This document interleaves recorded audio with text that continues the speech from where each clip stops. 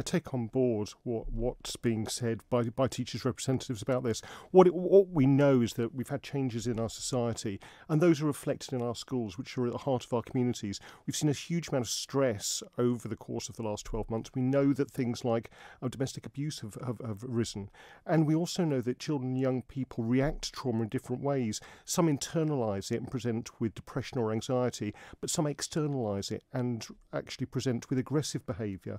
And I think um, Geraldine's absolutely right to pinpoint the disruption this can cause, both to teachers, the person themselves, but also to their fellow pupils. So early intervention is key to try to nip this in the bud, try to sort out where the problem lies, and then use therapeutic interventions to try to prevent, um, you know, suspensions and having to move children from one school to another.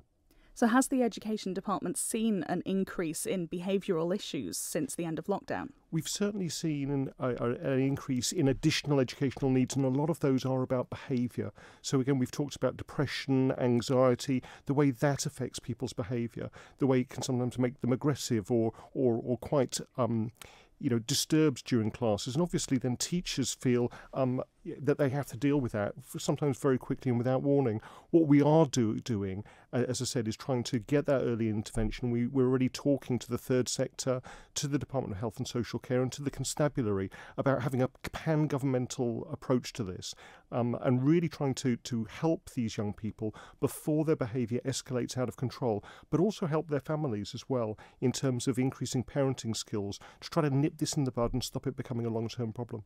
Well, you mentioned there that work is already underway, working with different groups. What's the timeline for this? Well, what we're, we're doing at the moment in the department is we've set up a policy hub. We're trying to catch up with a lot of these um, bit work streams that unfortunately were, were postponed and put off last year, so we can actually work with all the other agencies in government because this isn't just the problem for schools. This is a problem for society, and we need to have that early intervention. We need to put extra resources into this to actually make our community and our society safer, better, and far more productive.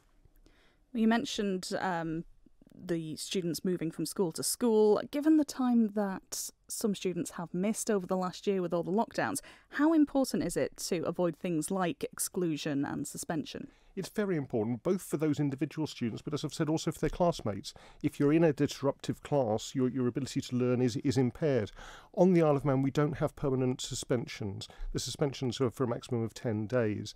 Um, but what we do have is some, a very small number of pupils who find it very difficult to go back to their schools, particularly if, if there's been violence involved and the stigma of, of that. So, what we need is to have far more early interventions, far more um, resources directed so we can rehabilitate some of these children, children and young people so they can continue with their education and actually reach their potential rather than being um, left on, on the scrap heap and the add on effects that has for the rest of their lives.